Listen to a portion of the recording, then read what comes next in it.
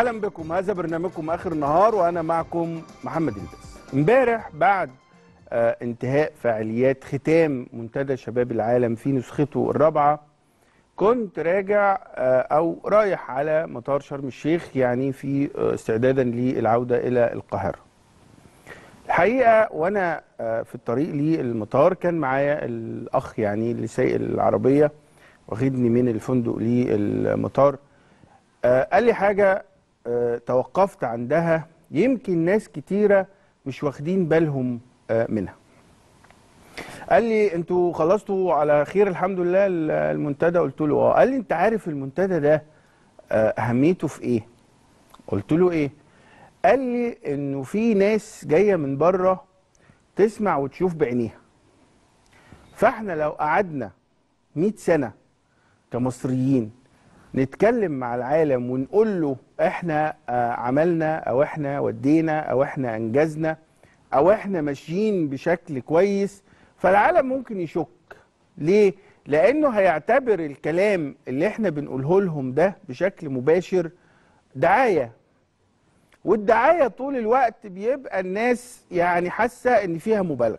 قال انما لما تلاقي الشباب جايين من دول العالم المختلفة قال لي والشباب الأجنبي اللي جه السنة دي مش هو اللي جه في المنتدى بتاع 2019 مش هو اللي جه في سنة 18 مش هو اللي جه في 17 فكل منتدى بيجي عدد كبير من الشباب بيشوفوا على الأرض ولما يرجعوا يتكلموا فصوره مصر الحقيقية اللي هي على الأرض توصل للناس ب آه يعني حاجات بسيطة. فقلت له والله دي فكرة ممكن ناس كتيرة جدا مش آه شايفاها والناس اللي مش شايفاها دي بتسأل طول الوقت تقول لك هو إحنا آه بنعمل المنتدى ليه؟ فأنا لقيت هذه الإجابة البسيطة اللي هي مفيش فيها فزلكة ومفيش فيها آه حالة بقى من الإيه من التنظير. يعني لا أنت بتتفزلك ولا أنت بتنظر على الناس ولا أنت قاعد بتتكلم عن الرسالة الأولى والكبرى. آه لمنتدى شباب العالم؟ لأن أنت بتبعت رسالة للعالم كله إنه إحنا مفروض كلنا نشتغل من أجل الإنسانية. نشتغل من أجل الإنسانية بقى فنعمل سلام فنعمل تنمية فنعمل حوار فلا ننزعج من الاختلاف. لا إحنا كلنا رغم اختلافنا في الدين في الأفكار في اللون في النوع في الاتجاه في الانحياز كلنا بشر في النهاية. ومفروض إن إحنا نشتغل عشان العالم ده يبقى أفضل. فلقيت والله الفكرة دي زي ما بقول لحضراتكم. أحيانا تقعد أنت تفكر هتتكلم مع الناس إزاي؟ أو تقول لهم إنه آه المنتدى ده مهم على أنهي أساس أو بأي منطق. فأنا لقيت هذه الفكرة البسيطة جدا. عند هذا الأخ العزيز يعني اللي كان معايا في الطريق للمطار وهو فتح الكلام. فأنا لما قلت له قلت له تتخيل كده في كام واحد جايين من كام دولة؟ فقال لي لا ما أعرفش. قلت له إحنا عندنا شباب من 196 دولة. 196 دولة كانوا موجودين خلال الأيام بتاع المنتدى اللي هو بدأ بدأ بالمناسبة قبل يوم الاثنين لأنه يوم 10 ده كان الافتتاح الرسمي. يوم الحد واليوم السبت السابقين للافتتاح كان عندنا ورش عمل والورش دي عشان تعمل حوار وتتناقش وتتحاور وتختلف عشان تطلع توصيات. فأنا سألته والله أنا بقول لحضراتكم الحوار يعني أنا كنت موجود في فندق وأنا كنت وعدتكم إن إحنا إن شاء الله لما هاجي احكي لكم عن المنتدى مش هنقول الكلام المعتاد يعني. يعني ما وراء الأحداث. قلت له طيب آه طب الفلوس اللي اتدفعت دي مش ناس كانوا أولى بيها؟ يعني آه في انفاق بالملايين على المنتدى. مش ناس كانت أولى. فقال لي ايا كانت الفلوس دي قد إيه مثلا؟ قد إيه؟ هو ما يعرفش المؤتمر المنتدى كلف قد إيه أو اتصرف عليه قد إيه. قال لي ايا كان ده إحنا عشان نعمل دعاية للبلد محتاجين مليارات نصرفها بره وهتلاقي الناس وأنت بتصرف بره مثلا تكتب مقال في جورنان تعمل برنامج في محطة تاخد اول دور في ميدان من الميادين العالمية. قال لي نصرف كتير قوي إنما اللي اتصرف ده مهما كان كبير ما يساويش المعنى اللي الشباب هيرجعوا بيه عن مصر لبلادهم يكلموا أصحابهم ويكلموا الناس في الجامعة ويكلموا الناس حتى في الإعلام. وكأن أنت بتتكلم هنا إيه؟ عن الدعاية المباشرة اللي هو نرجع تاني للاتصال الشخصي اللي بيجوا لك دول بيرجعوا يتكلموا مع اللي حواليهم. ومع ذلك عايز أكد على المعنى إنه يا جماعة في حاجات كتيرة جدا لو حسبناها بالأكل والشرب المباشر فأنت مش هتتقدم. أنت امبارح مثلا في حفل الختام ده هتلاقي ناس تقول لك إحنا عندنا إمكانيات كبيرة جدا وإحنا نقدر نعمل إبهار ونقدر ننظم حفلات ونقدر ننظم آآ آآ فاعليات.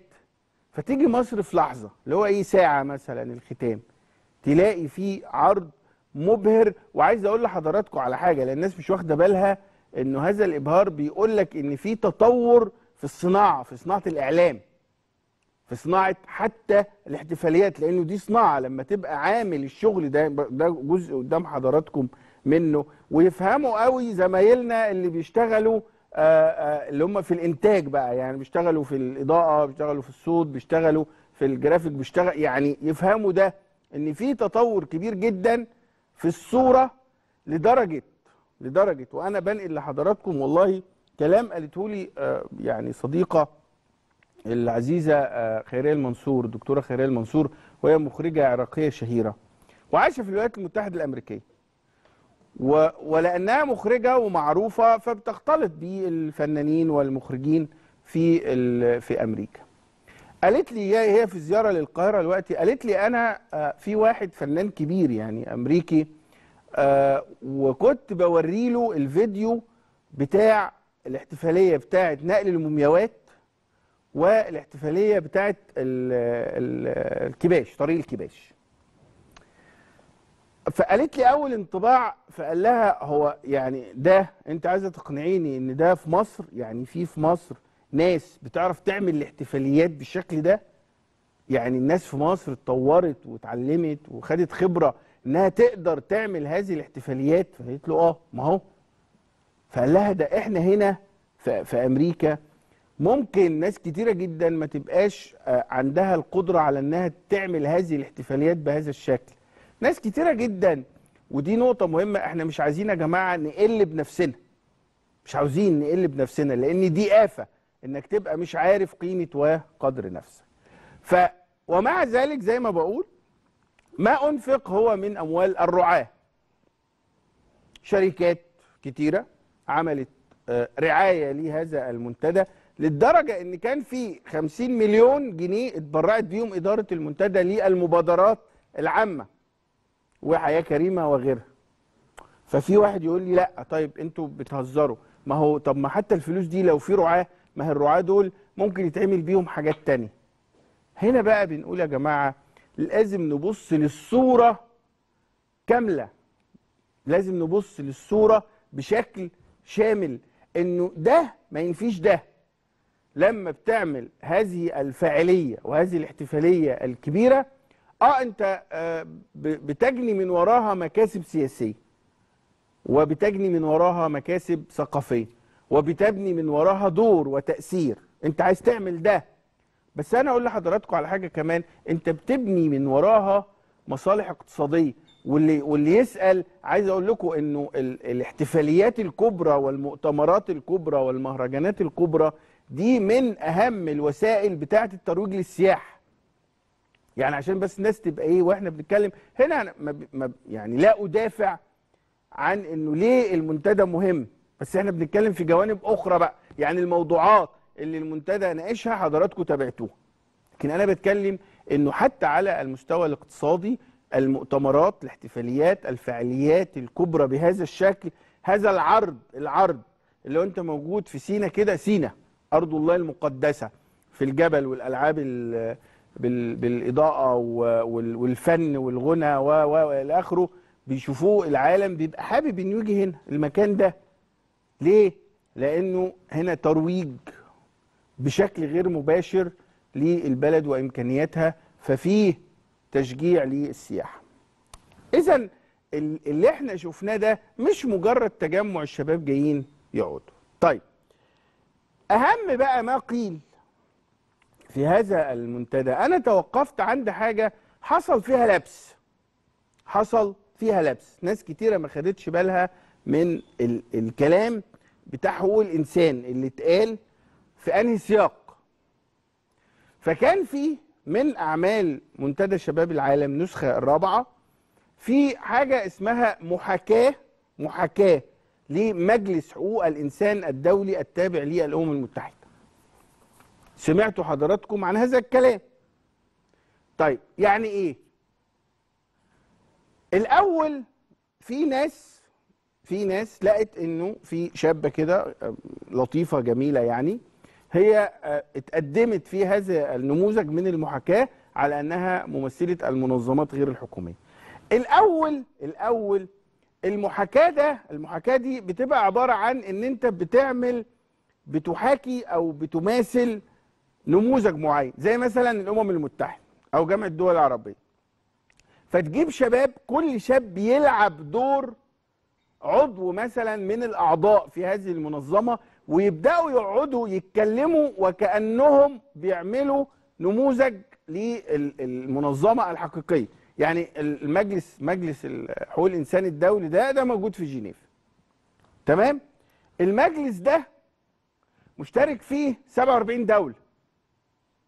47 دولة دول بي بي بيقعدوا مع بعض وبيعملوا مراجعات لملفات حقوق الإنسان مع بعض. فيقول لك مثلا مصر السنة دي هيتم مراجعة الملف بتاعها.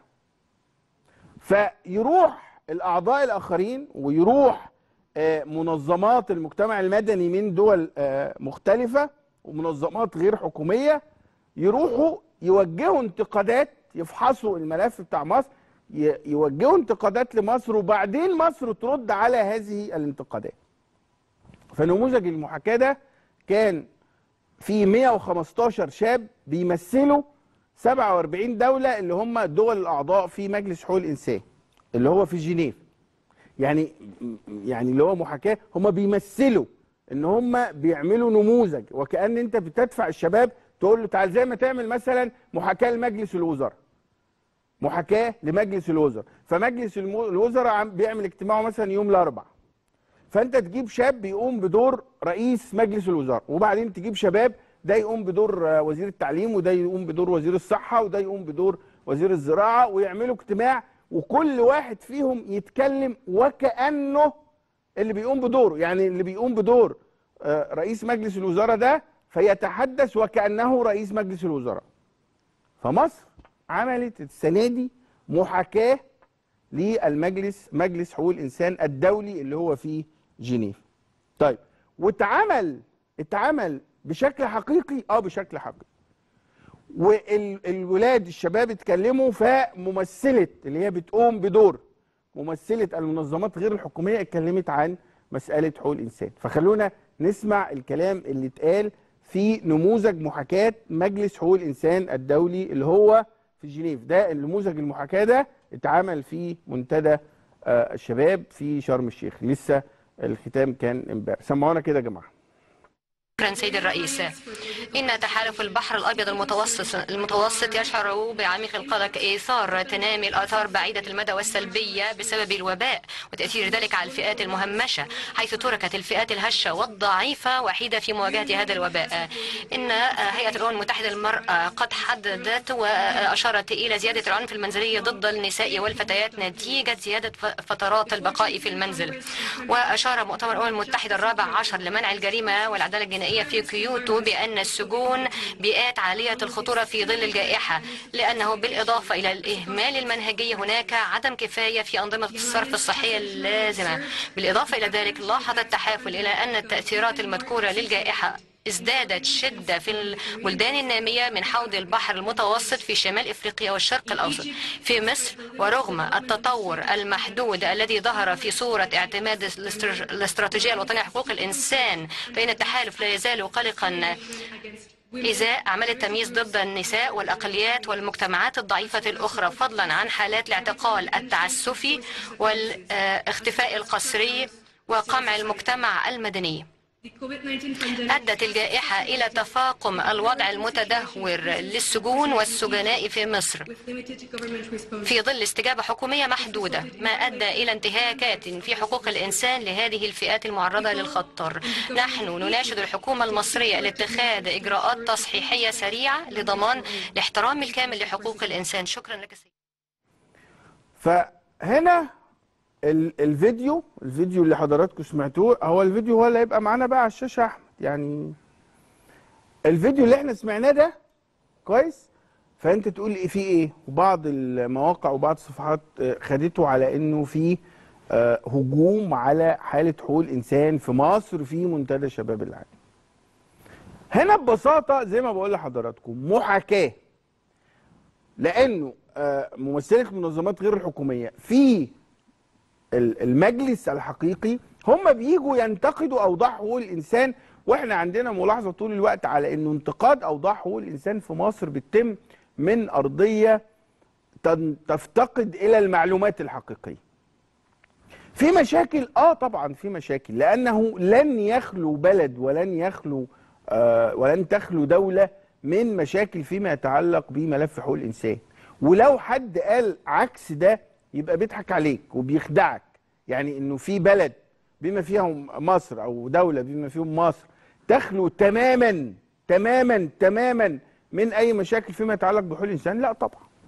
مش ملائكه لكن هنا ال ال هذه الفتاة يعني اتكلمت بالكلام اللي بيوجه اللي هو أنت عندك آه اعتقال تعسفي آه واختفاء قسري وقمع للمجتمع المدني وإنه أنت في الجائحة آه ما عملتش إجراءات عشان اللي في السجون واللي هم معتقلين بتسميهم معتقلين وإنه آه إحنا منزعجين جدا وتحالف المنظمات غير الحكومية مش مبسوط مش راضي عن أوضاع حقوق الإنسان في مصر.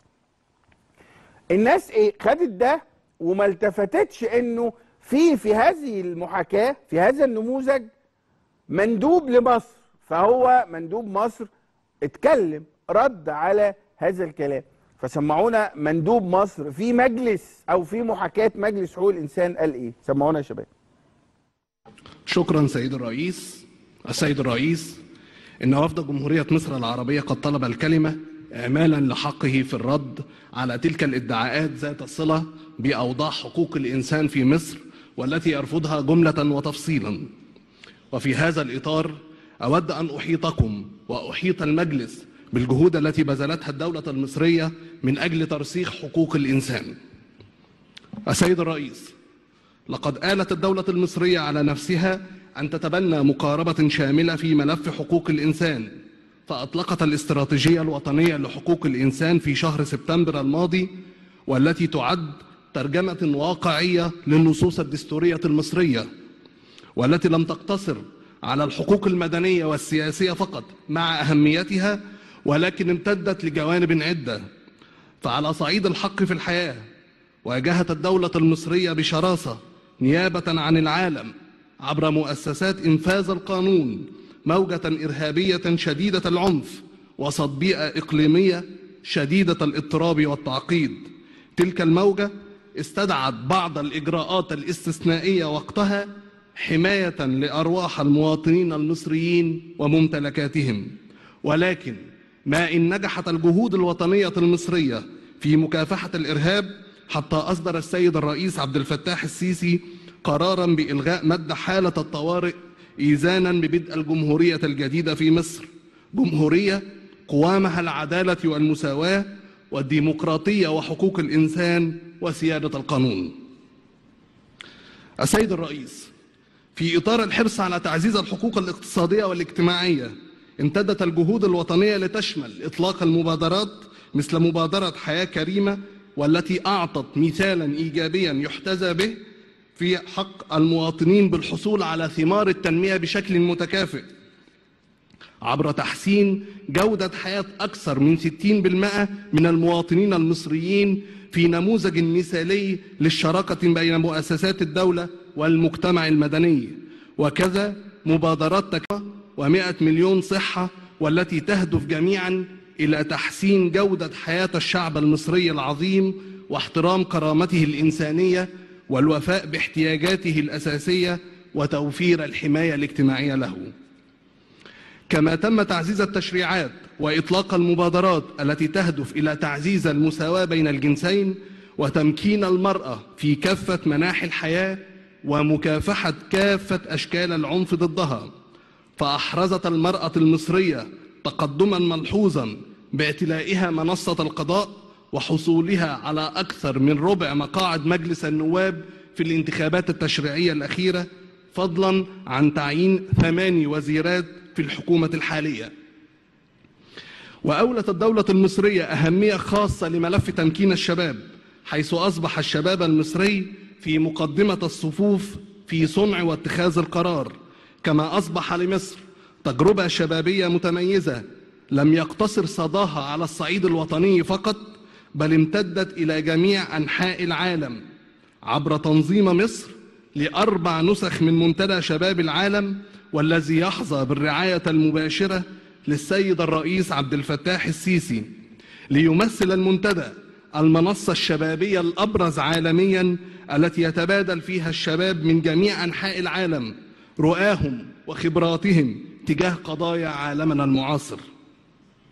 السيد الرئيس إضافة إلى ما تقدم كثفت الدولة المصرية جهودها لتعزيز حرية الدين والمعتقد من خلال تجديد الخطاب الديني ومكافحة التطرف وخطاب الكراهية وتعزيز ثقافة التسامح وتقبل الآخر والتعايش السلمي ونشر روح التآخي مما ساهم في ترسيخ مبدأ المواطنة واعتماده أساسا للحقوق والواجبات. ثم جاء قانون بناء وترميم الكنائس والذي بموجبه تم تقنين أوضاع أكثر من ألفي كنيسة ليمثل خطوة أساسية وإضافية في هذا الشأن.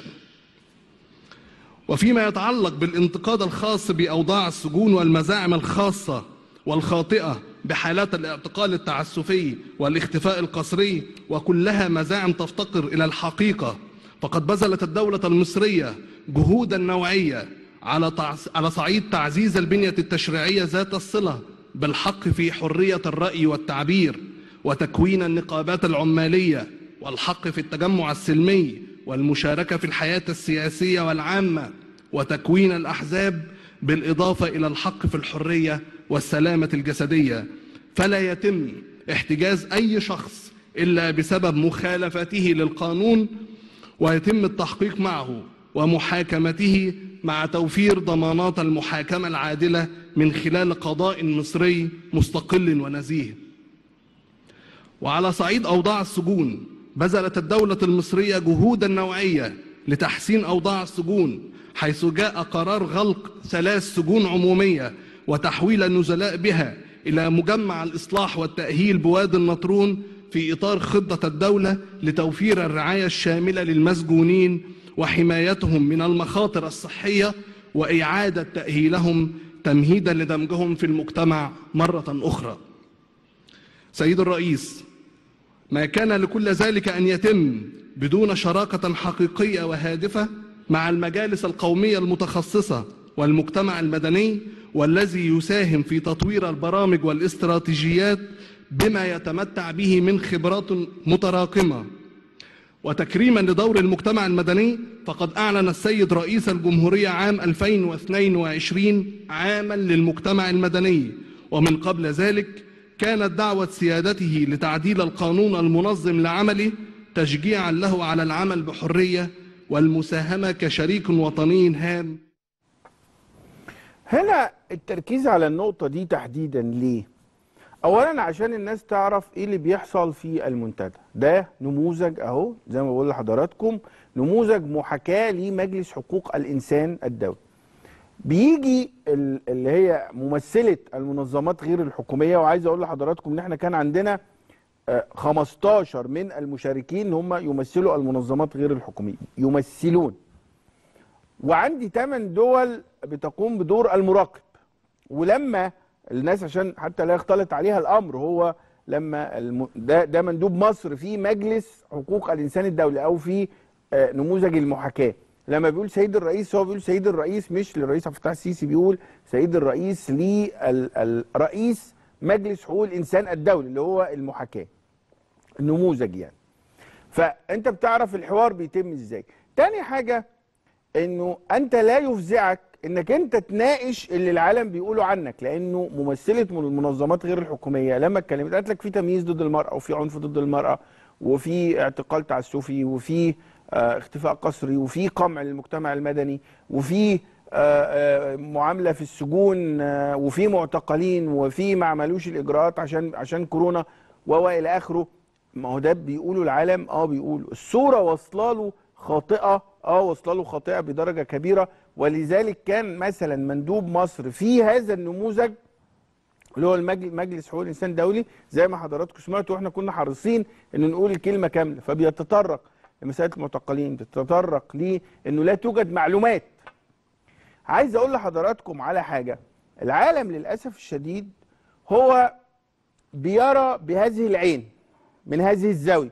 ولذلك مثلا في اللقاء اللي كان ما بين الرئيس ومراسلي وسائل الإعلام ال- العالمية كان في برضو كلام عن حقوق الإنسان. لكن أنا قبل ما أروح للقاء المراسلين الأجانب مع الرئيس كانت آه، السفيرة مشيرة خطاب رئيس مجلس قومي لحقوق الإنسان موجودة في نموذج المحاكاة وكانت آه، يعني مراقب لهذا النموذج واستمعت لما قيل فيه من مناقشات. خلونا نستمع إلى آه، معالي السفيرة مشيرة خطاب رئيس المجلس القومي لحقوق الإنسان. أستاذ السفيره أهلا بيك يا فندم.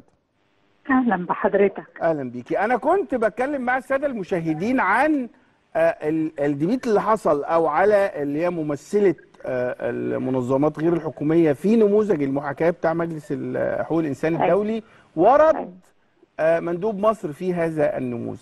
الأول يعني آه، أنا عايز رأي حضرتك وتقييمك لهذه التجربة آه، بشكل عام في البداية.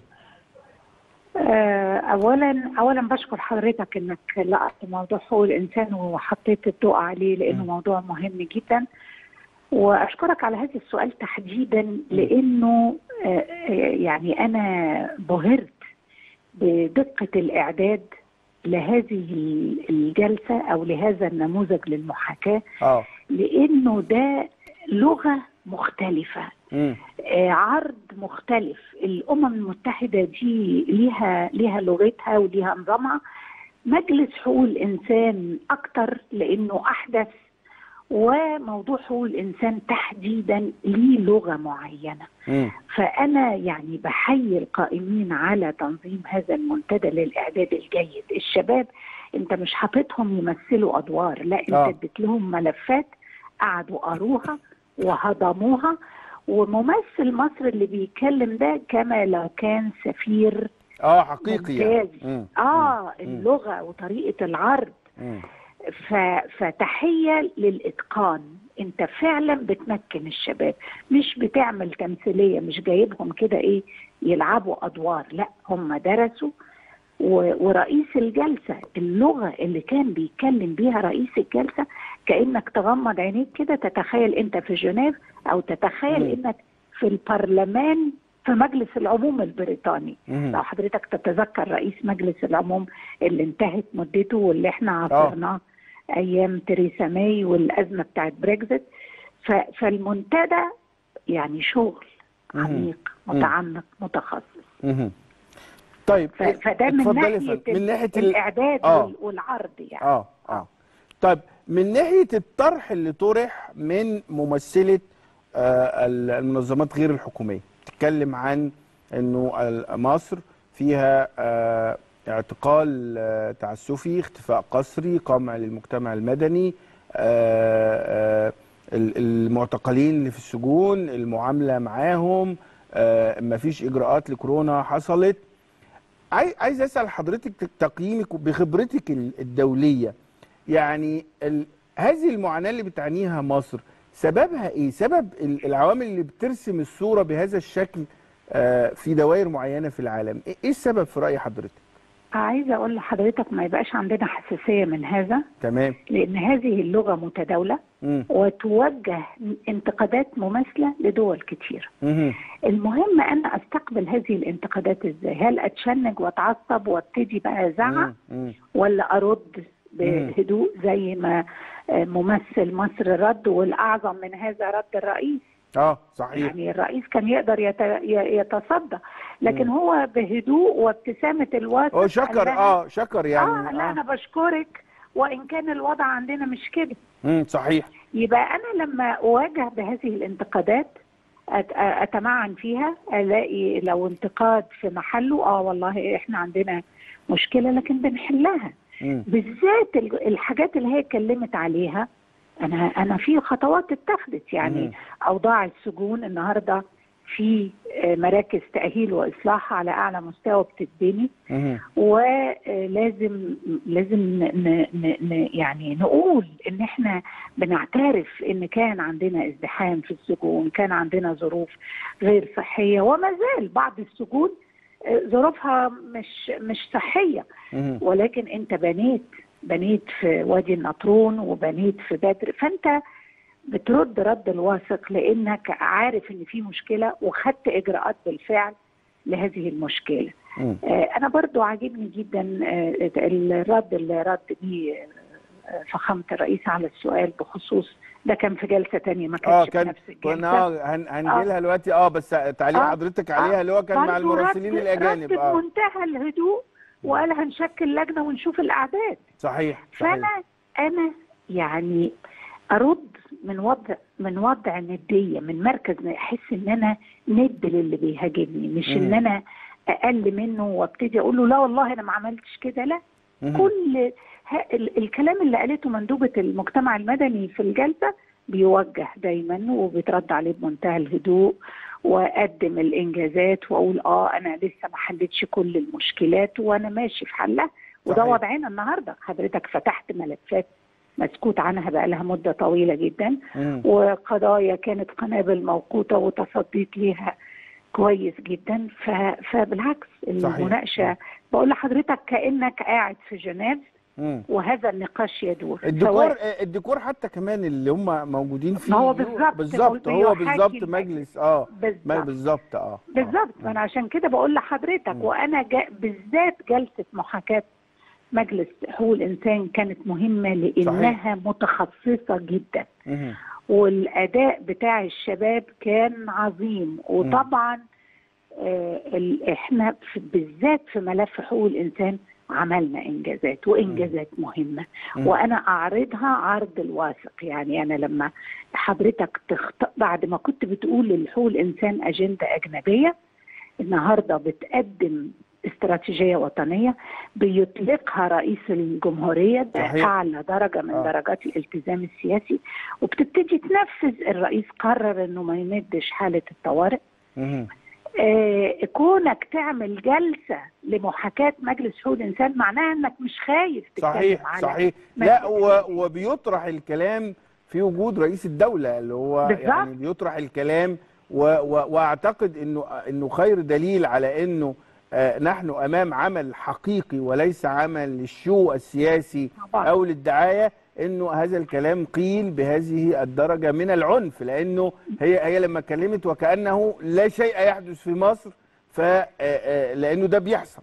وعارف حضرتك اتفضلي. حضرتك اتفرج على على الحوارات دي بره آه. بتحصل أشد منها. صحيح. وبتبتسم وترد بهدوء آه، أو تقرر إنك ما تردش تتكلم بس ما تديش رد. مم. أنا كمان في نقطة تانية أحب أتكلم اتفضلي. عليها دور الرئيس. آه. دور الرئيس إحنا تعودنا دور الرئيس لما يشارك في حاجة زي دي بيخش تشريفة كده يقول الكلمة بتاعته يقعد بعدها خمس دقائق عشر دقائق ربع ساعة ساعة ويمشي مم.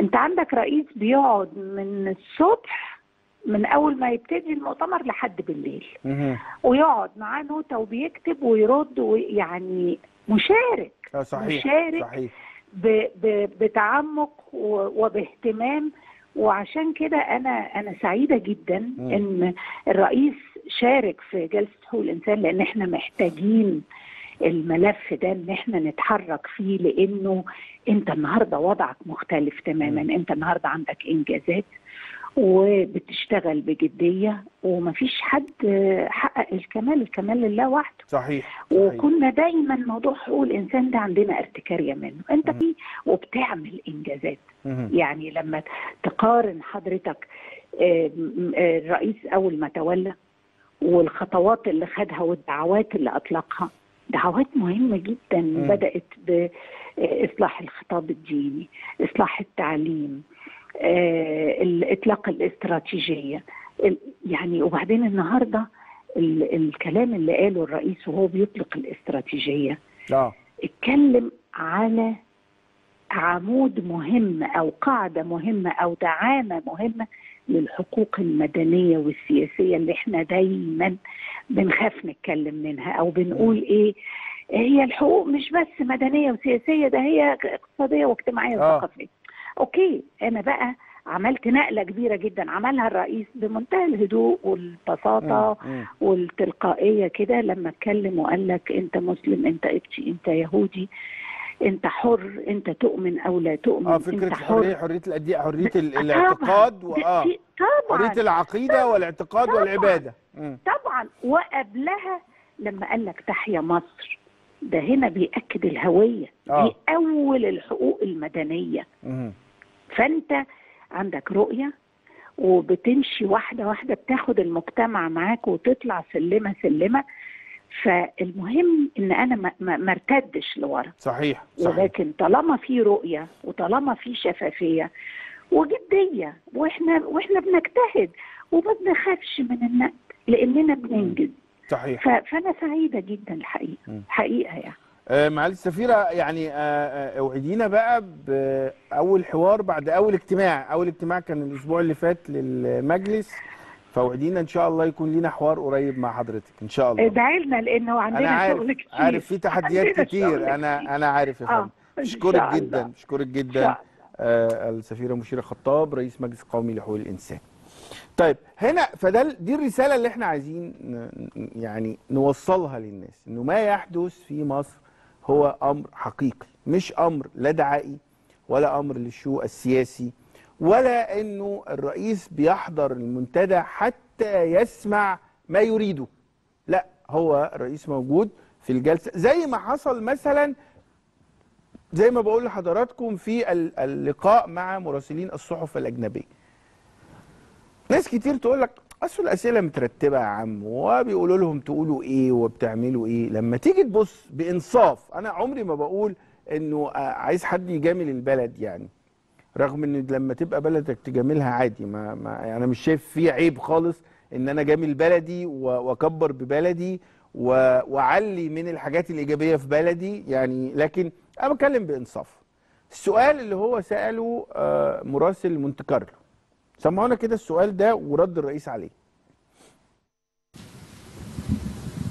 مرحبا سيد الرئيس. أهلا وسهلا. طارق حمدان من فرانس ميديا موند فرنسا الدولية للإعلام إذاعة مونت كارلو الدولية باريس. اسمح لي أن أعود مجددا آه، عند المقدمة أو بداية هذه الجلسة أو الموضوع الذي فتحته عند بداية هذه الجلسة موضوع حرية الرأي والتعبير وحقوق الإنسان.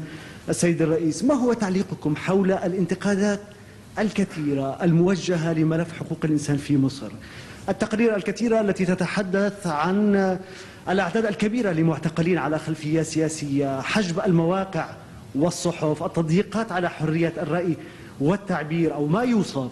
آه، آه، أول أمس عند افتتاح هذا المنتدى ظهر خبر حزين يتحدث عن آه، تجميد عمل الشبكة العربية لحقوق الإنسان. هذه مؤسسة تعمل في مصر منذ 18 عاما.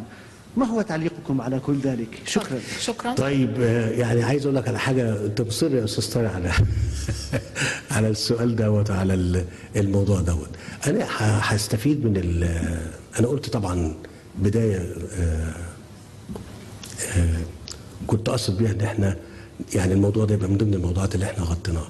لكن أنا هطرح عليكم طرح على شبابنا اللي موجود هنا والشباب المصري ولو في حد من ال- من الشباب الآخرين مستعد إن هو ياخد كل البيانات اللي بتطرح وبيتم تداولها آه، في الخارج عن العدد وعن السياسيين وعن الاحتجاز وعن الاختفاء القسري ويتم خلال أسبوع اتنين شهر اتنين تلاتة يتم آه، اس- يعني آه، الوقوف على حقيقة ذلك.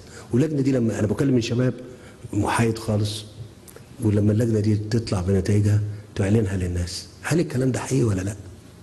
هل النهارده في الكلام اللي بيطلق ده بالأرقام اللي بتتقال ديت ده حقيقي ولا لا؟ لكن عايز أقول لك إيه؟ أحيانا بيكون البيانات اللي بيتم آه، التحصل عليها بيانات مش دقيقة. ساعات ال- الموضوعات اللي بيتم طرحها ما بتبقاش موضوعات آه، كاملة.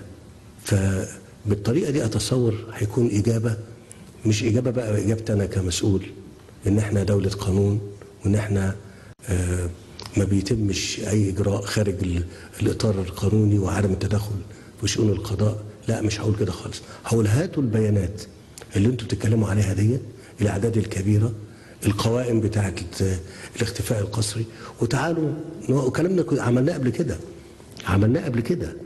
وكان في لجنة اتشكلت في أول مؤتمر شباب وخلينا اللجنة دي تشوف الموضوع دوت واي أي إجراء خاطئ مستعدين إيه؟ نصوبه. لأن إحنا في النهاية أنا عايز أقول لك على حاجة. أوعى تزعل يا طارق يعني. هو أنتوا بتحبوا شعبنا أكتر مننا؟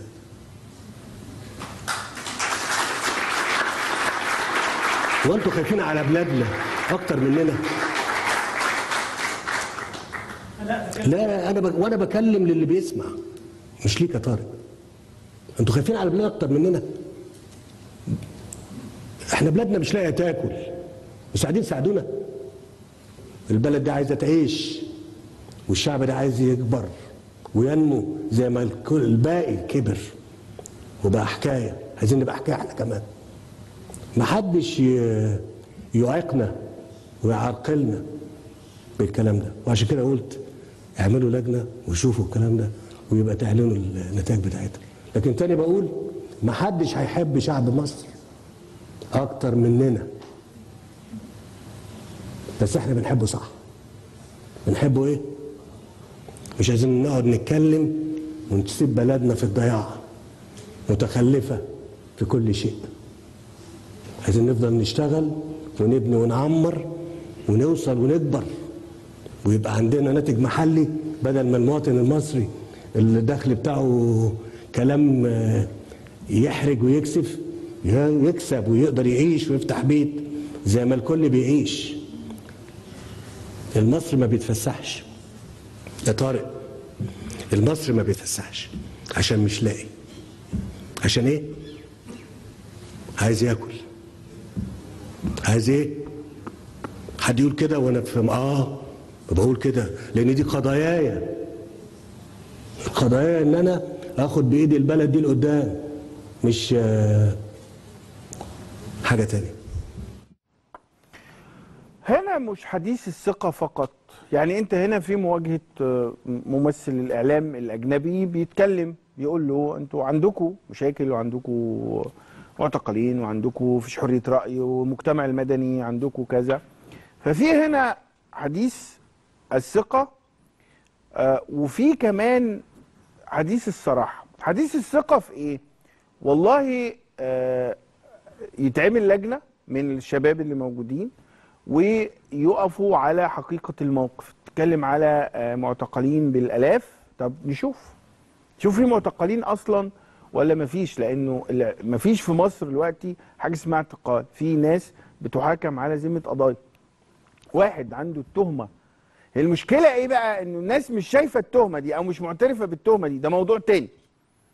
فإنه الثقة إنه تشكل لجنة ون- وندرس ونطلع البيانات لإنه اللي بيتقال عن حقوق الإنسان في مصر تنقصه المعلومات الكاملة والدقيقة.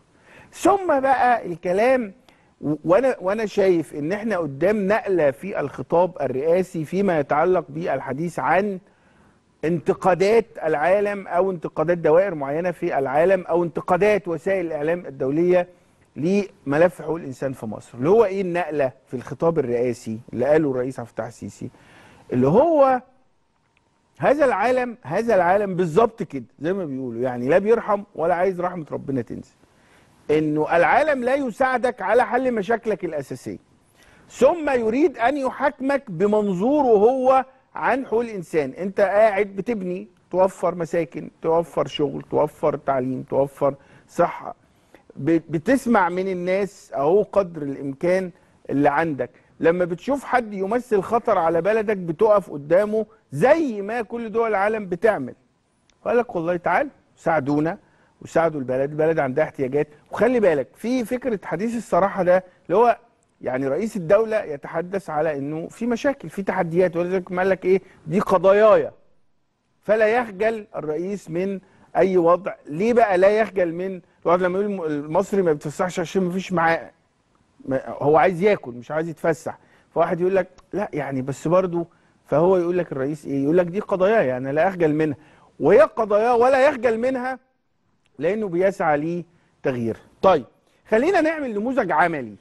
الآن على أكاذيب خصوم مصر فيما يتعلق بملف حقوق الإنسان. وهذا النموذج العملي هنتكلم فيه على هامش القبض على حسام منوفي محمود سلام. مين حسام منوفي محمود سلام ده؟ بعد الفاصل أقول لكم.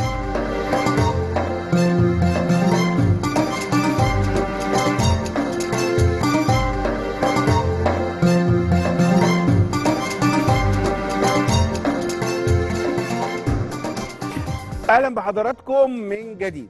حسام منوفي محمود سلام. آه ممثلة منظمات الحكومية آه في نموذج المحاكاة بتاع مجلس آه مجلس آه حقوق الإنسان الدولي قالت إنه عندكم اختفاء قسري واعتقال تعسفي. والراجل اللي هو بتاع مونte كارلو طلع قال للرئيس حرية الرأي والتعبير والمجتمع المدني وعندكم معتقلين وبتاع آه، ففيه نموذج والعالم يا جماعة عنده الحاجات دي. يعني عنده هذه المعلومات. طب حسام منوفي محمود سلام. إحنا لقينا الأخبار زي ما حضراتكم كده هتشوفوا اللي هو إيه؟ خلي بالكم كمان في تعبيرات و و و والعين العين ما أعرفش العين الإماراتية جرى لها إيه. آه فيقول لك زي ما شايفين كده مصر تعتقل أحد مؤسسي حركة حماس الإخوانية. تمام؟ تروح للعربية الإخوان تعلن اعتقال الأمن المصري لقيادي بحسم قبل هروبه لتركيا. وبعدين دعوات لمقاطعة شركة بدر للطيران بعد اتهامها بالتعاون مع الأمن المصري.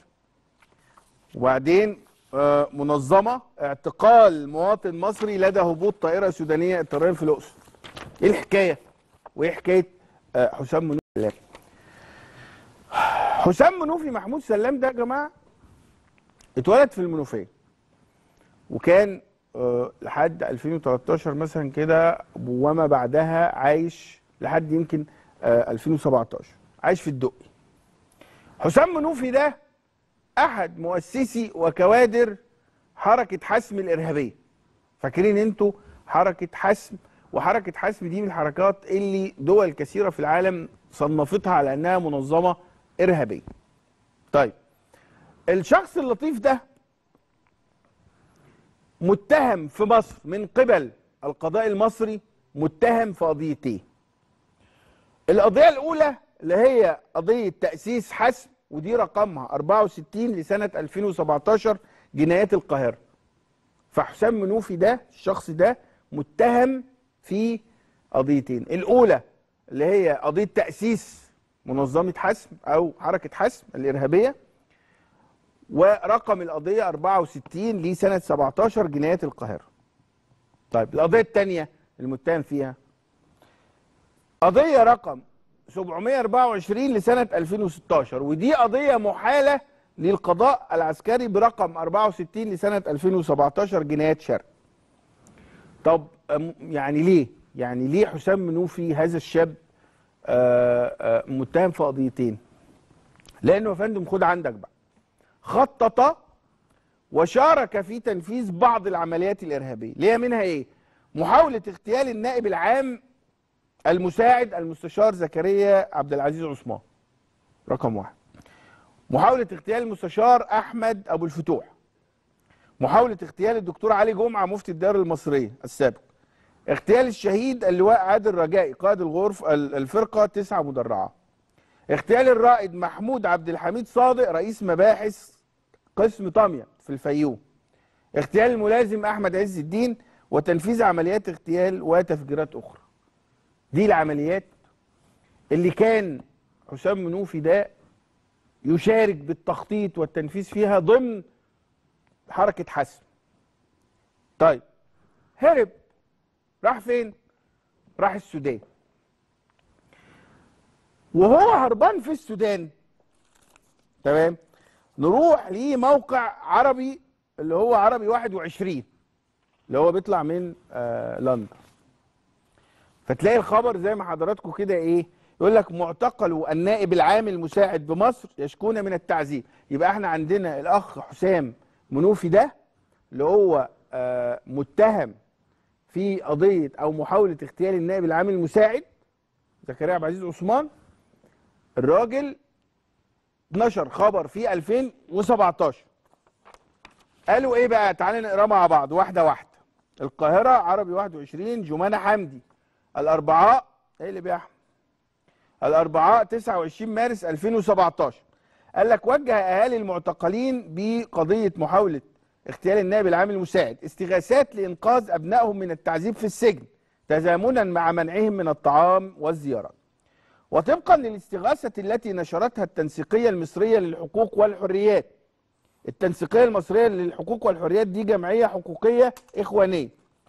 فإن هناك العشرات من أبناء محافظة المنوفية معتقلون على ذمة الحبس الاحتياطي ويتعرضون لمعاملة وصفتها التنسيقية بالوحشية كويس. وأرفقت التنسيقية أسماء المعتقلين مقدمي الاستغاثة وهم حسام منوفي محمد إسماعيل ممدوح إسماعيل بدوي محمود غريب قاسم وشقيقه عمر عمر جمال مصطفى عبد الرحمن ياسر نبوي عبد الرازق عامر محمد عامر عمار ياسر العبوسي طالب ثانوي ومحبوس انفرادين بشبين الكوم أحمد محمد إبراهيم الصوت. تمام؟ يبقى إحنا عندنا في مارس 2017 ال- ال- التنسيقية المصرية للحقوق والحريات دي ودي منظمة حقوقية إخوانية. عملت تقرير ونشروا موقع عربي 21 قالوا انه آه، حسام منوفي محمد معتقل. مش معتقل بس ده معتقل وبيتعذب فإذا بينا يا مؤمن نلاقي إن الأخ حسام منوفي ده ما خلي بالك ده عشان ترد على إيه؟ فكرة إنه الاختفاء القسري والاعتقال التعسفي هو الراجل شارك في هذه العمليات الإرهابية وتم محاكمته غيابيا في مصر وعنده تهمة والراجل هربان أصلا والاخوان قال لك ده ممسوك معتقل آه بتعذب في السجن. الراجل راح السودان. كويس كده؟ طيب لما راح السودان كان راجع في طيارة من السودان على خطوط بدر للطيران راجع معاه جواز سفره ورايح فين؟ تركيا. الطيارة هبطت اضطراريا في مطار الأقصر.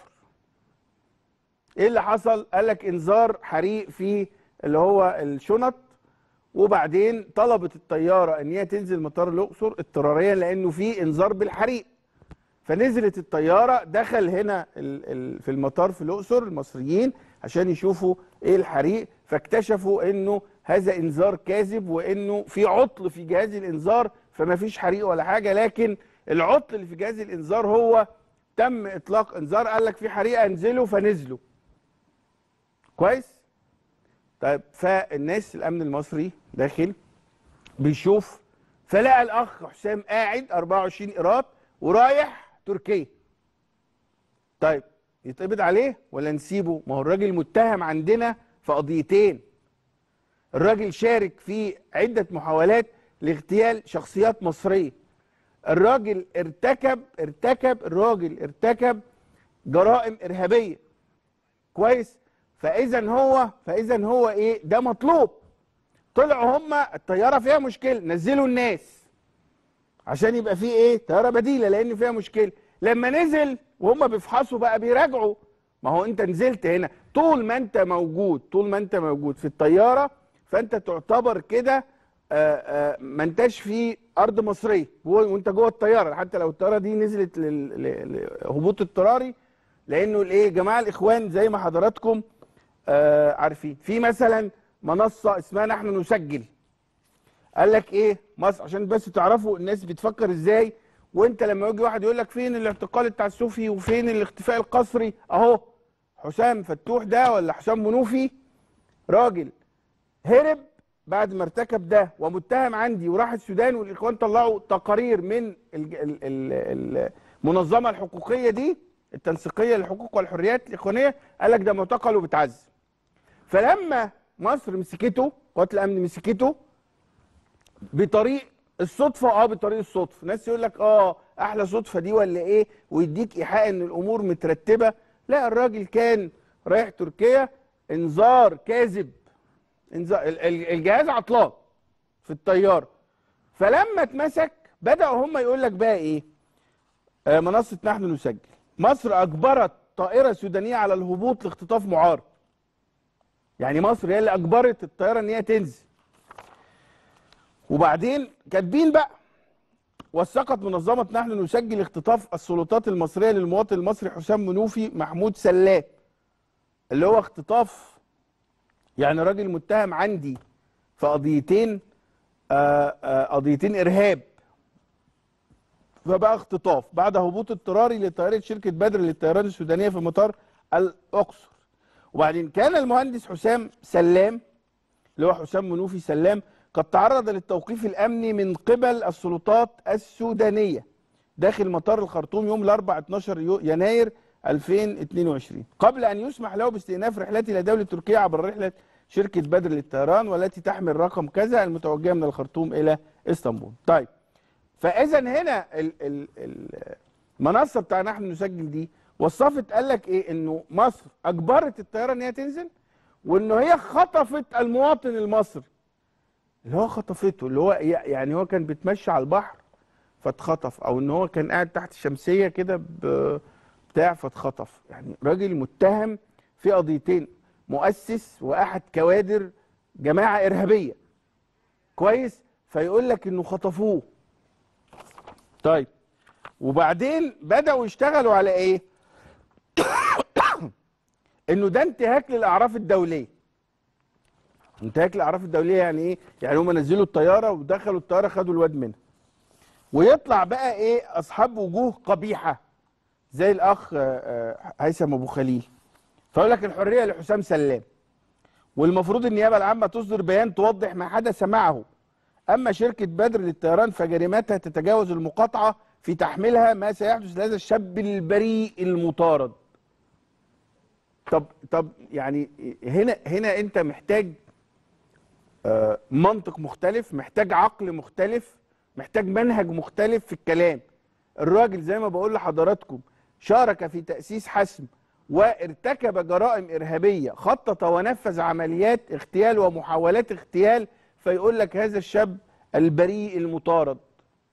بريء مطارد إيه؟ يا عم متهم. والنيابة توضح ما حدث النيابة طلباه الراجل بيتحاكم. إرهابي إرهابي إرهابي واضح وش؟ هو ده مثلا واقعة زي دي مفروض بتنسف مصداقية أي كلام يتقال عن آه الاختفاء القسري لأن هم قالوا قالوا الواد اتمسك وبتعذب. ده أنا هقول لحضراتكم بقى على أكتر من كده. لأنه شركة شركة بدر هم بيقول لك إيه؟ طلعت بيان. شركة بدر للطيران السودانية. طلعت بيان بترد على الناس اللي بيقول لك ده انتهاك للأعراف الدولية وإنه السلطات المصرية دخلت خدت الواد من الطيار قالوا إيه بقى؟ أهو قدام حضراتكم شركة بدر للطيران السوداني. بتقول تداولت وسائل الإعلام المختلفة خبرا عن توقيف السلطات المصرية لمسافر مصري الجنسيه على متن رحلة بدر للطيران بالرقم كذا والمتجهة إلى مدينة إسطنبول. ولبيان تفاصيل هذه الحادثة تود الشركة توضيح الآتي. بدر للطيران تعمل وفق أسس وضوابط نظم الملاحة الجوية المعمول بها دوليا. خلال الرحلة المذكورة صدر إنذار من نظام الكشف عن الدخان في كابينة البضائع حجره رقم واحد. وكإجراء تقتضيه لوائح وقوانين الطيران بالهبوط في أقرب مطار تمت عملية الهبوط بكل سلاسة بمطار الأقصر الدولي بجمهورية مصر العربية. نسبة للمدة الزمنية التي استغرقها التفتيش والتدقيق عن سبب صدور هذا الإنذار تسبب ذلك تقييد زمن عمل طاقم الرحلة والذي تعامل معه طاقم الطائرة باحترافية واستعمل طفايات الحريق كإجراء وقائي داخل حجرات العفش وذلك حسب متطلبات تشغيل الطائرة. ولاحقا اتضح أنها كانت إشارة خاطئة. وتسبب ذلك في إرسال الطائرة إلى مركز الصيانة في أوروبا من مطار الأقصر لإعادة نظام الإنذار لوضعه الطبيعي. وما زالت الطائرة موجودة في مطار آه، مش عارف إيه. طيب قررت الشركة إرسال طائرة بديلة إلى مدينة الأقصر لنقل الركاب ومواصلة الرحلة خلي بالكم لأن الحكاية كلها في الجزئية دي الشركة قررت إرسال طائرة بديلة إلى مدينة الأقصر لنقل الركاب ومواصلة الرحلة. الصعود إلى الطائرة البديلة يجعل السلطات المصرية جزءا من إجراءات السفر كما هو المعمول به في لوائح الطيران وهذا ما أدى إلى توقيف الراكب المذكور. تؤكد بدر للطيران أنها تعمل وفق لوائح السلامة الجوية وقوانين الطيران. اللي هو إيه؟ أنتوا عارفين على طريقة آه، على طريقة محمد لطفي يعني يقول لك يا كسفتك يا حازم مش مش حازم عادل يعني بس يا كسفتك يا حازم يعني اللي هو اللي هو آه، ال ال الإفك والتلفيق يصل إلى هذه الدرجة القصة دي كلها بتاعت حسام منوفي ده تقول لي إيه؟ أنا كمواطن مصري. تقول لي إنه معظم معظم الدعايات اللي بتتقال ضد مصر هي دعايات باطلة. أهو واحد أهو شارك في كل هذه الأعمال الإرهابية وهربان في السودان. فأنت جت مصادفة قدرية آه مصادفة قدرية. بتحصل يعني؟ بتشوفش أفلام ولا إيه؟ طيارة آه، عطلت. إنذار كاذب. إنذار إن في حريق وبعدين الانذار ده آه، لأنه الجهاز الكشف الجهاز نفسه عطلان. فبعتت الشركة زي ما قالت أهو البيان بتاع بتاع شركة بدر. قال لك بعتنا طيارة بديلة. طيب الطيارة البديلة دي الركاب هينزلوا من الطيارة. الأصلية للطيارة البديلة. هنا السلطات المصرية هتدخل طرف لأن بت... بينزلوا على أرض مصرية خلاص فبيفحص الورق فلقاه. انت جيت يا صلاح فجه صلاح. خلاص حسام آه، آه، منوفي جه. الراجل المتهم في قضيتين أو بيحاكم على ذمة قضيتين وارتكب أعمال إرهابية. ده الشق الأولاني اللي بيقول لك إنه هم الجمعيات اللي هي بتدي المعلومات دي للدوائر العالمية بتقول أي كلام. الواد هربان ومطلعين بيان إن هو آه، معتقل أو إن هو اتمسك. وبعد ما اتمسك طالعين يقول لك إيه؟ إنه تم اختطافه. وانه آه، آه، بريء مطارد. بريء مطارد اللي هو متهم في عمليات إرهابية قال لك بريء مطارد. حاله من الإفك الحقيقة الغريبة جدا. ولذلك مثلا واقع زي دي واقع زي دي. ما هو مش بيقولوا إيه؟ البعره تدل وأثر السير يدل على المسير. ما هو ببساطة شديدة. ولذلك يعني سبحان الله وإحنا كنا بنتكلم الأول فيما يتعلق بمسألة حقوق الإنسان والانتقادات اللي وجهت في منتدى شباب العالم على أرض مصر لهذا الملف. ومرة تانية في مشاكل آه في مشاكل في أزمات في أزمات. آه في حاجات محتاجة تتصلح آه في حاجات محتاجة تتصلح. لكن كم الأكاذيب اللي بيقال عن مصر الحقيقة كبير جدا. أنا أتمنى نكون عرضنا هذه القصة بتاعه حسام منوفي اللي بتأكد البلد دي يا جماعة طول الوقت مستهدفة بالأكاذيب. خلينا نطلع فاصل ونرجع لقضية مهمة جدا وهي القضية المتعلقة آه، أو توابع وفاة زميلنا العزيز الأستاذ وائل الابراشي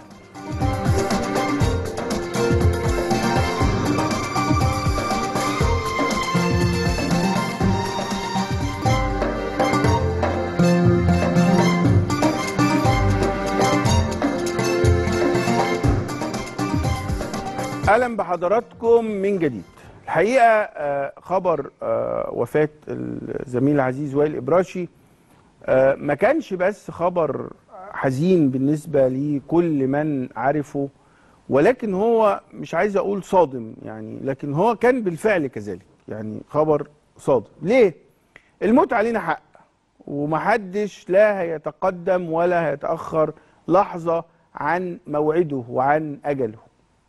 بس يمكن الصدمة جت لأنه كلنا كنا تقريبا يعني شهود على محاولات وائل الإبراشي المستمرة لأنه يخرج من هذه الأزمة الصحية وأنه يعود لعمله مرة أخرى. يعني تقريبا وائل عاش 58 سنة آه، قضى منهم يعني سنوات كثيرة جدا في العمل الصحفي كان مقاتل شرس في عمله أعتقد إنه العام الأخير من حياته اللي هو من آه، ديسمبر 20 إلى يناير و- آه، 22 يعني إحنا بنتكلم على سنة كان فيها مقاتلا أكثر شراسة لأنه كان بيدافع عن وجوده. فالناس كانت بتطمن على وائل باستمرار وفجأة الخبر ويمكن صدفة إنه وإحنا نازلين شرم الشيخ آه، آه، لقينا الخبر على المواقع وعلى الصفحات لوفاه وائل ابراش. وهنا أنا عايز أقول شوية حاجات لأنه في بعض الناس عملوا كثير من المزايدات أو أولها مثلا وأنا هعيد الكلام تاني أولها إنه شفته عاش طول عمره وسط الجماعة بتوع الإعلام دول وفي الآخر لما راح اتدفن اتدفن في بلده ومفيش واحد من الإعلاميين دول راح وراه أو شارك في جنازته. وأنا بقول لحضراتكم كل الناس يعني الإعلاميين اللي كانوا موجودين في المنتدى في شرم الشيخ فكروا في أكتر من حاجة فكروا إن هم يعملوا عزا هناك في شرم الشيخ آه لوائل لأنه الناس لما آه آه، يعني سافرت وكان خلاص ال- المنتدى تاني يوم الصبح ما كانش فيه حتى بحركة الطيران وحركة السفر حد ممكن يلحق إنه يشارك في الجناز ده رقم واحد رقم اتنين وأنا لما قلت إنه انه وائل حتى إنه لا لا لن يغضبه يعني ولن يحزنه إنه زملائه كانوا موجودين في عمل يخص الدولة أو عمل كبير مثل ده كان بي- بيشارك طول الوقت في المنتديات شباب العالم ويشارك بيه فاعليا. فالحقيقة أنا عايز أقول من من الأسرار يعني إنه أنا شفت وائل آه، خلال مرضه كنا في آخر رمضان. وناس كتيرة جدا من أصحابنا آه، كان عندهم أمل. أنا ما كانش عندي أمل خالص. يعني أنا شفت الموت في عينين وائل إبراش يومها. أنا بنتكلم من تقريبا آخر شهر أربعة اللي فات يعني بعد ده قعد حوالي 8 شهور أهو. فأنا يومها آه، شفته وصورته لا تريد أن تغادر الحقيقة يعني خيالي. أنا آه، شفت الموت في عينيه. إنه هذا زي ما بيقولوا كده. هو خلاص. حتى لما كانوا بيقولوا بيتحسن كنت أقول يا رب. يعني ربنا آه، يعني يستجيب. لكن المشكلة فين؟ المشكلة فين؟ في آه، مش زي يعني في مقولة كده شهيرة جدا. بتقول إيه؟ كل منا يحصل لا يحصل على ما يستحقه فقط ولكن على ما يشبهه أيضا. وائل عاش حياته آه، صاخب جدا في شغله. وكأن الأقدار حكمت أنه رحيله أيضا يكون صاخب. وأنا هنا بدعو كافة الأطراف إلى احترام ذكرى وائل إبراش. ليه؟ لأنه الحقيقة أنا مثلا يعني ما عجبنيش اللي كتبه آه، الدكتور خالد منتصر واللي هو بيتكلم على إنه آه يعني آه كتب هو بوست كده من من الذي قتل الإبراش؟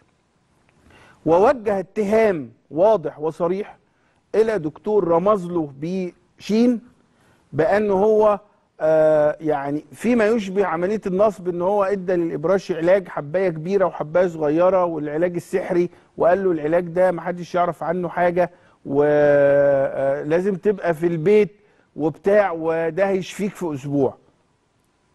واتهم آه، آه، خالد منتصر هذا الدكتور شين بإنه من قتل وائل إبراش. ده بعد ما زوجة وائل إبراشي الله يرحمه فقالت إن في خطأ طبي حصل. طيب. أول حاجة أنا شايف أنا شايف إنه خالد منتصر أهان وائل ابراشي الله يرحمه إهانة بالغة. إهانة بالغة تماما. ليه؟ لأنه وائل ابراشي اللي عاش طول عمره محقق وراجل يعني إيه أي معلومة تتقال له بيتقصى وراها.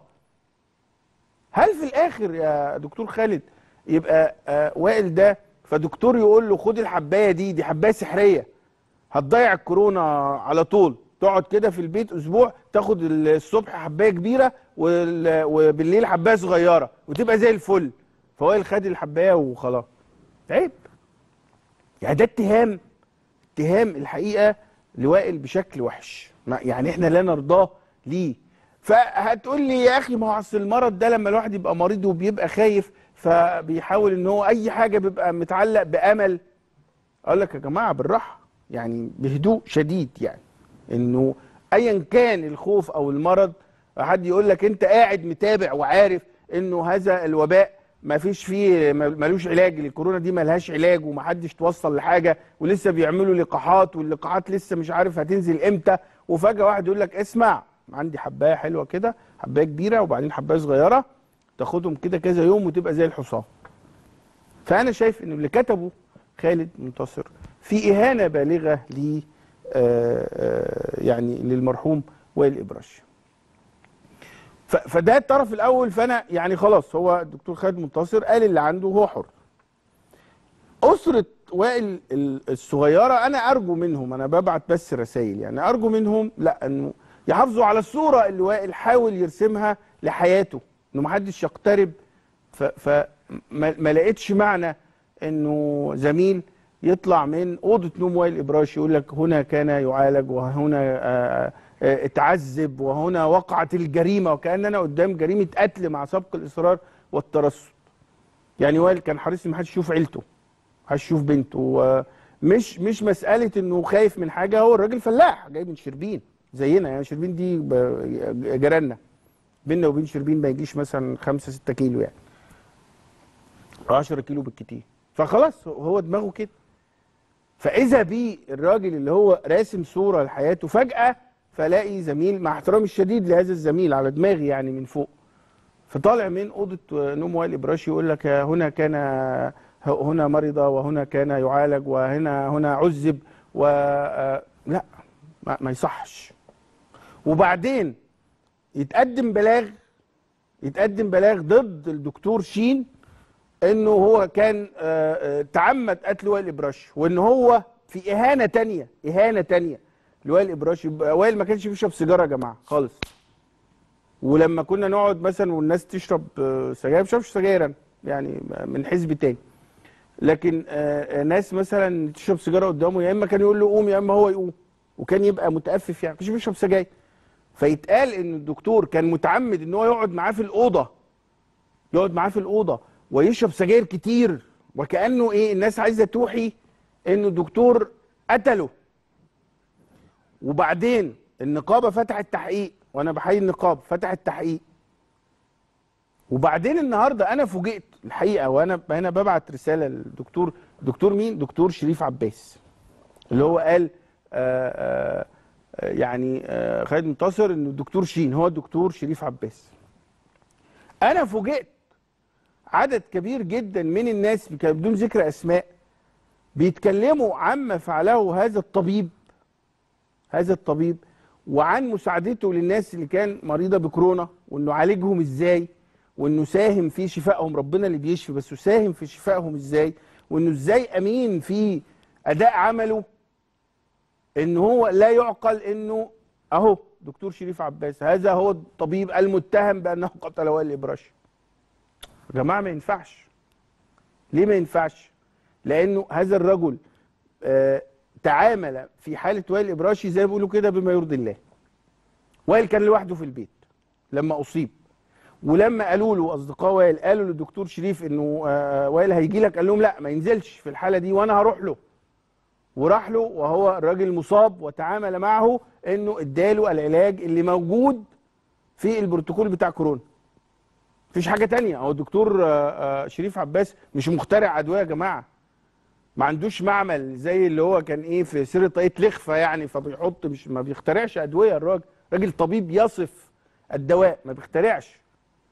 وتاريخه أنا هنا ما بدافعش أنا ما أعرفوش والله. لم أتحدث معه ولم أعرفه. ولا عمل معايا مداخلة ولا آه، شفته ولا يعني تعبت عنده ربنا يعافينا يعني.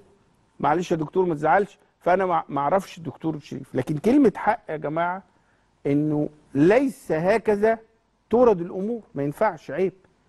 وبعدين إحنا ال ال الكلام اتقال بالمنطق يقول لك إنه بعض الناس فقال لك لا الأطباء دول قتل. قتلت إيه يا جماعة اللي في الوباء؟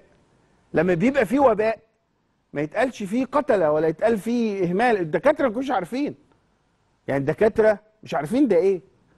وفي حالات ماتت وفي حالات كانت توصف لها حاجات مش دقيقة وفي حاجات أثرت على حاجات. فأنا هنا ببعت رسالة بكل ما اكنه من تقدير وحب لي وائل إبراشي. كل من يحب وائل إبراشي يعني يجب أن يحافظ عليه.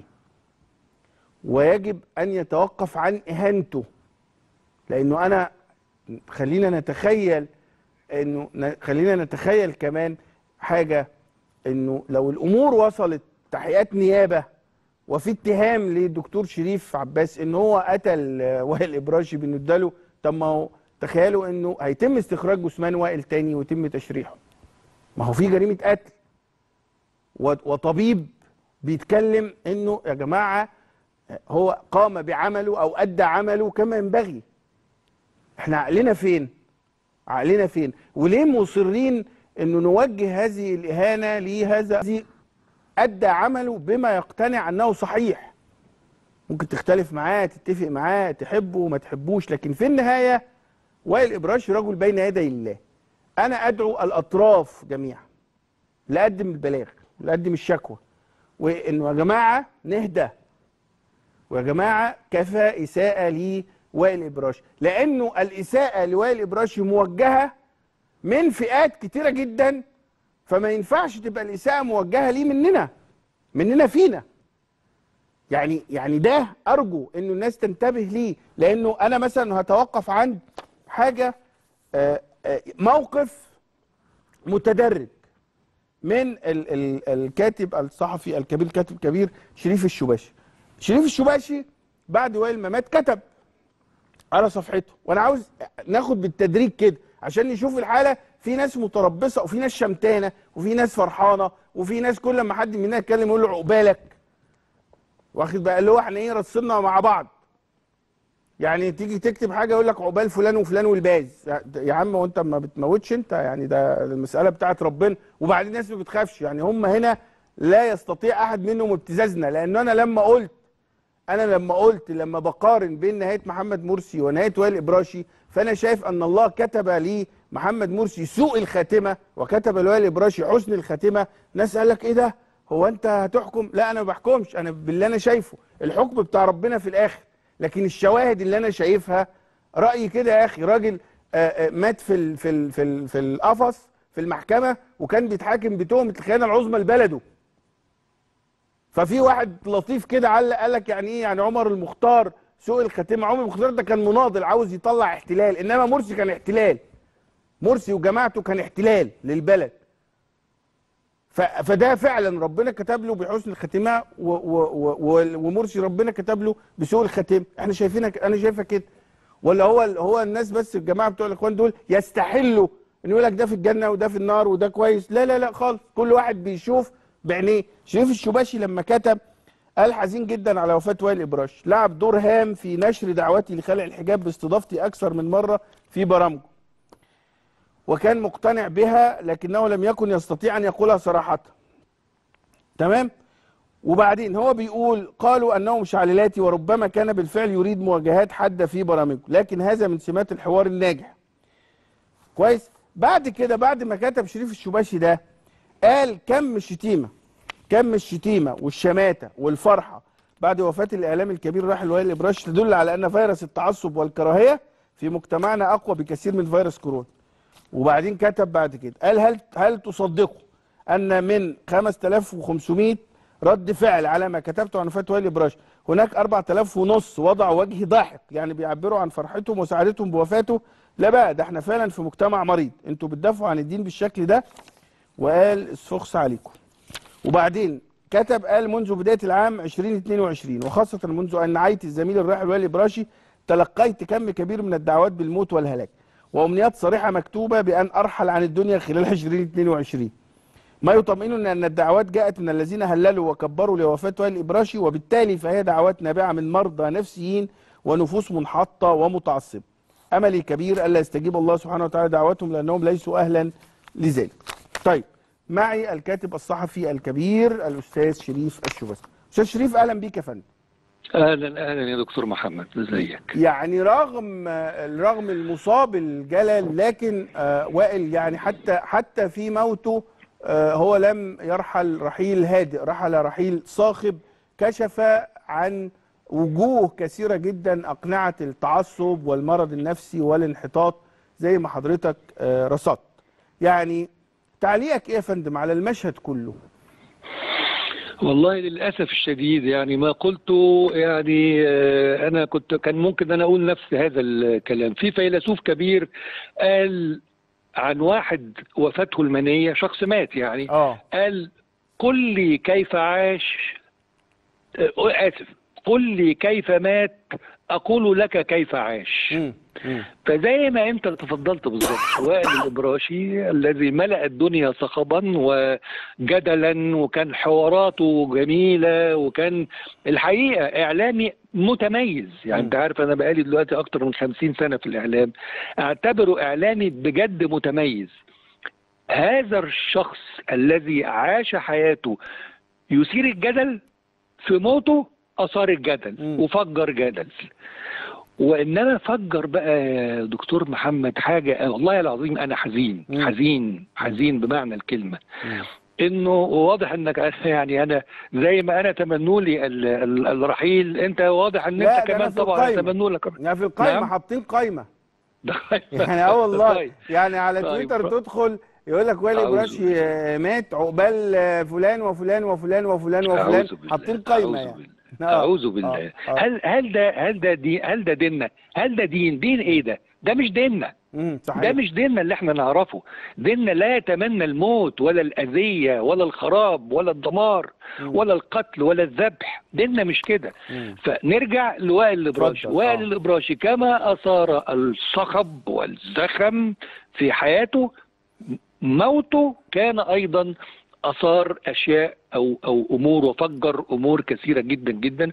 منها يعني وفاته. حضرتك اتكلمت فترة طويلة عن كيفية وفاته. أنا ما أقدرش أفتي. أنا ما أقدرش أفتي. لكن طبعا هو لما أصيب بهذا هذا المرض اللعين هذا الفيروس اللعين من حوالي سنة آه، كان لسه آه، ما فيش حد عارف حاجة عن هذا المرض. صحيح. مش عارف كيف يعالج. مش عارف إيه اللي يضر ومش عارف إيه اللي ينفع فهل حصل خطأ أ- هذا وارد هذا. وارد. لكن كون الطبيب تعمد قتله طبعا ده كلام لا ما تخشش عقل بني آدم لا ليه؟ وهو وهو كلام ليه؟ قيل كلام قيل في في طبيب يعني يعني حضرتك ما أعرفش حضرتك تعرف دكتور شريف عباس ولا لأ لكن أنا النهارده والله زملاء إعلاميين مفننين أنا بعتز بيهم جدا آه، آه، اتكلموا يعني أنا ما حبيتش انكا الجراح أكتر من كده لأنه أنا أنا وجهت رسالة ما أعرفش حضرتك تتفق معايا فيها ولا لأ إلى كل محبي وائل ابراشي يا جماعة بلاش عارف إيه زي ما بنقولها كده بلاش تهينوا الراجل في قبره يعني بلاش. آه، ندخل في مساحات لأنه هو مات آه، بكورونا كما يموت الناس أو بتبعات كورونا آه، كما يموت الناس ف مظبوط. ف فهي دي دي الفكرة لكن أنا عايز أتوقف عن اللي هو رد الفعل اللي حضرتك كاشف من خلاله للخريطة النفسية والدينية الزائفة لفئات في المجتمع. أيوه بالظبط كده. هو الرقم اللي أنا قلته 5 5500 آه. ده أصبح دلوقتي الضعف بالظبط. أنا آه. في حوالي 11 ونص قول 11000 أكتر من 11000 مم. آه، آه، آه، يعني قاموا بردود الأفعال. أنت عارف على فيسبوك في حوالي خمس ست ردود أفعال. آه آه. ففي منهم 8500 حاطين وش واحد بيضحك. مم. يعني شمت فرحانين. آه. مهللين. شمتانين. ده ده ناس مرضى. ده مرضى. صحيح. صحيح. هو هو في ده رجل إعلامي وكان بيعمل حوارات متميزة وكان على فكرة دائما في كل مرة كان بيعزمني. هو أكتر إعلامي دعاني يعني في. في, تاريخ الحديث يعني. ما شفتش يعني هو أنت أنت أنت انت شريف مثير للجدل برضو يعني يعني يعني أنا مثير للجدل للجدل صحيح. صحيح أنا مثير للجدل لأن بحاول صحيح ما لا. بت- بتحرك آه. العقل كمان يعني بتحرك العقل وده بحاول. المطلوب دايما والله بحاول دايما. بحاول يا دكتور. محمد. فاللي أنا عايز أقوله إنه كان دائما يعطي فرصة لكل واحد انه يقول وجهة نظره ما صحيح. كانش ما يعني كان يعطيني أنا البراءه ولو إن كان أنا أول ما عملت هذه الدعوة اللي قلت عليها كانت 99% من الناس ضدي هو في البداية قد يكون ضدي. يعني ما أنا عارف رأيه بس أنا في حل إن أنا أقول كان بيقول لي إيه في في البريك في النص صحيح يعني. في صحيح حل إن أنا أقول. لكن على اية حال كان بيعطيني أنا فرصتي ويعطي خصمي أو أو أو الشخص المناظر اللي بيناظرني أو اللي بيخالفني في الرأي يعطيه فرصته بالكامل ويعطيني فرصتي بالكامل. صحيح. فأنتوا في يعني عمل لكم إيه؟ مم. عمل لكم إيه يعني وائل الابراشي أنا مستغرب مستغرب وحزين إن ده مفهوم الناس للدين مم. أنت أنت بتدافع عن دينك أنت كده البعيد بتدافع عن دينك لما طبعا. عايز ت... لما تدعي ب... ب... ب... بال- بالموت وبخراب الديار أنت كده بتدافع وتنافح تنافح عن دينك. بهذا الأسلوب مم. ده أسلوب خاطئ ما إحنا صحيح.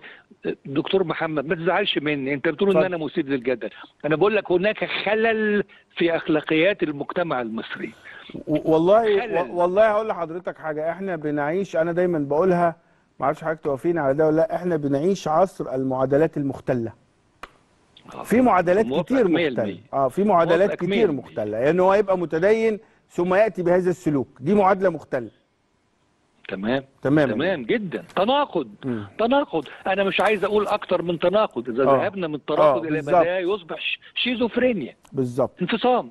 طيب. انفصام. إحنا أنت إحنا راجل بتدافع عن شيء سامي. الد- الدين ده شيء فيه سمو. صحيح. في سمو اخلاق يعني إحنا آه، إحنا طمعانين في طمعانين في في في حوار قريب مع حضرتك تستجيب لدعوتنا. طبعا إيه، يسعدني. آه و- وأنا بشكر حضرتك جدا على يرحم. على ما كتبته وعلى ما قلته عن الزميل وائل إبراهيم. بشكرك جدا ربنا يرحمه يا رب.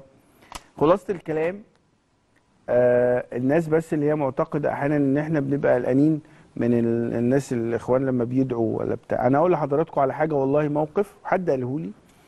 الإخوان لما قعدوا في رابعة حوالي 45 يوم في اعتصام رابعه الإرهابي. طو- طول الليل بيصلوا طول الليل بيدعوا طول الليل بي فواحد قال لي قال لي يا أخي هو ال ال ال الإخوان اللي كانوا موجودين في رابعة دول لو فيهم واحد لو فيهم واحد فعلا آه، إيمانه حقيقي كان ربنا استجاب له. فهي دي الفكرة إنه نحن نعبد الله كما يريد الله لنا أن نعبده إنه إحنا بنعمل وهو ربنا اللي يتقبل. إنما الناس دي بتحكم على ربنا. يقول لك ده داخل الجنة وده داخل النار. يقول لك أنتوا هتموتوا وكأن هم آه مش هيموتوا. ربنا يرحم وائل إبراشي ومرة تانية رسالة إلى كل محبيه. يا جماعة خلونا نجتهد إن إحنا وائل يبقى مستريح فمفيش حاجة اسمها إنه طبيب آه، يعني قتله أو آه، وعايز كمان نقابه الأطباء تبقى أهدى في هذا الموضوع. إحنا مش في حرب ولا في آه، حاجة. تقديرا لمشاعر زوجته أو الحالة لما قالت هذا الكلام أنا أنا لومي ال- الأساسي على على خالد منتصر. لومي الأساسي الحقيقة. لكن الدكتور شريف كما سمعت أنا لا أعرفه أقسم بالله لا أعرفه كما سمعت انه الراجل قام بكل ما يجب أن يقوم به. فخلونا يعني نطلب الرحمة لوائل الابراشي وخلونا نطلع فاصل ونرجع في آه، يعني جزء قصير كده. اكلم حضراتكم في حاجة سريعة.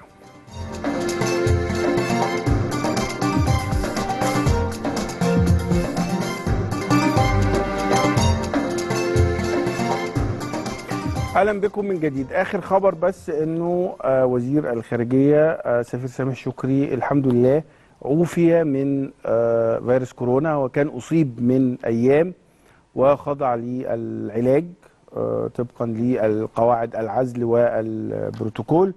والحقيقة آه، سامح شكري بالتوعية لأنه المتحدث الرسمي باسم وزارة الصحة دكتور حسام عبد الغفار نشر من شوية حاجات اللي هو آه، الإصابة بمتحور أوميكرون. الأعراض بيقول الأعراض الأكثر شيوعا للإصابة بالمتحور أوميكرون. الرشح الصداع. الشعور بالتعب والإجهاد العطس احتقان وجفاف في الحلق بسبب ألم عند يسبب ألم عند البلع. ده آه، الأعراض الأكثر شيوعا وهي أنتوا عارفين دي أعراض موجودة طول الوقت ممكن كلنا بنعاني منها. الأعراض الأقل شيوعا الكحة الرعشة ارتفاع درجة الحرارة. والأعراض نادرة الحدوث في الإصابة بأوميكرون ده آه، اللي هو فقدان فقدان حاسة الشم والتذوق آه، ألم في الصدر ضيق في التنفس. يعني دي الحاجات اللي مكتوبة فالناس تبقى واخدة بالها وربنا يعافي الجميع إن شاء الله. يعني آه تاني أهو الأعراض الأكثر شيوعا رشح صداع شعور بالتعب والإجهاد عطس احتقان وجفاف في الحلق يسبب ألم عند البلع. الأعراض الأقل شيوعا الكحة الرعشة ارت- ارتفاع درجة الحرارة والأعراض نادرة الحدوث فقدان حستي الشم والتذوق وألم في الصدر وضيق في التنفس. آخر حاجة هسيب حضراتكم معاه آه، ده تقرير مهم جدا آه، لأنه أنتوا فاكرين الرئيس لما كان في أسوان ووجه بيه آه، دعم مشروع الهوية البصرية لاسوان وزارة الداخلية في هذا الإطار قامت بتحويل عدد من سيارات الأجرة اللي بتشتغل بالبنزين لتعمل بالغاز الطبيعي. و و وقامت بده هدية لأهالي أسوان. يعني تم التحويل ده مجانا. الآن تقريبا تم تحويل 800 عربية أجرة إلى من البنزين إلى الغاز الطبيعي مع مراعاة إنه هذه السيارات تبقى متسقة مع الرؤية البصرية لأسوان. هسيب حضراتكم مع هذا التقرير وإن شاء الله نلتقي غدا. تصبحون على وطن بس شوفوا هذا التقرير. سايح أول ما يغادر المطار أو السكة الحديد طوال ما هو ماشي في الشارع يقدر يشوف نفس النمط ونفس الصور اللي هي رحبت بيه أول ما وصل المدينة. العربيات اللي عايزة تتغير والأتوبيسات تتغير ويتحط عليها اللوجو اللي هم الجامعة الألمانية حطته. استكمالا لتنفيذ مبادرة السيد رئيس الجمهورية بدعم مشروع الهوية البصرية لمحافظة أسوان وتحويلها لمدينة خضراء صديقة للبيئة خالية من التلوث بما يظهر طبيعة وأثرية وحضارة المحافظة. واصلت وزارة الداخلية تحويل سيارات الأجرة التي تعمل بالبنزين لتعمل بالغاز الطبيعي مجانا من خلال مراكز فنية مخصصة لإجراء عمليات التحويل مع تخصيص وحدة فنية لرفع كفاءة السيارات. إضافة إلى وضع ملصقات فنية ذات ألوان وخطوط متناسقة على كافة سيارات الأجرة. تلك الملصقات التي قدمها الشباب لمحافظة أسوان لتكوين صورة ذهنية وبصرية موحدة عن المحافظة لدى الزائرين. وقد وصل عدد السيارات التي تم تحويلها لتعمل بالغاز الطبيعي حتى الآن قرابة 800 سيارة. بدأنا في تنفيذ الجزء الأول من مشروع الهوية البصرية ونجحنا الحمد لله في تنفيذه. وبشكر فعلا وزارة الداخلية على الجهد اللي بذلته من أول يوم من أول ساعات النهار ثاني يوم التكريم. من فخامة الرئيس لأنها آه، تواصلت معايا وابتدينا ننفذ المشروع على أرض الواقع. وبسم الله ما شاء الله أنا شايف دلوقتي ال- ال- الشغل فعلا وصلنا إلى درجة كبيرة جدا من التنفيذ. شكرا فخامة الرئيس. شكرا وزارة الداخلية. اشهد يا تاريخ البشرية واتبعنا وين كل الأخبار. أسوان الماضي وحضرتها. نشكر الرئيس السيسي على المبادرة الجميلة. بدل ما كنت بحط ب 200 جنيه بنزين بحط دلوقتي ب 50 جنيه غاز.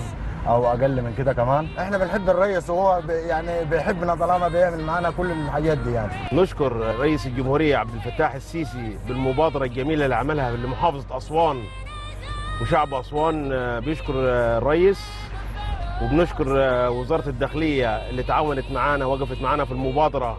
طبعا الرئيس كل ما بيجي عندنا أسوان بنشوف حاجة جديدة هنا في أسوان. ركبنا التيكت بتاع ال- الرمز بتاع أسوان.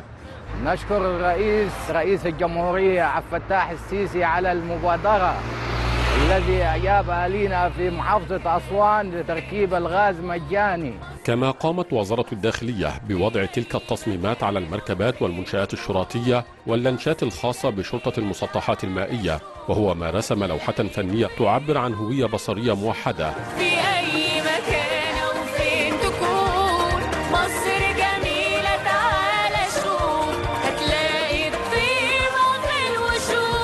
ويأتي الإسراع في تنفيذ تلك المبادرة لأهالي أسوان لتكون هدية لهم بمناسبة عيدها القومي.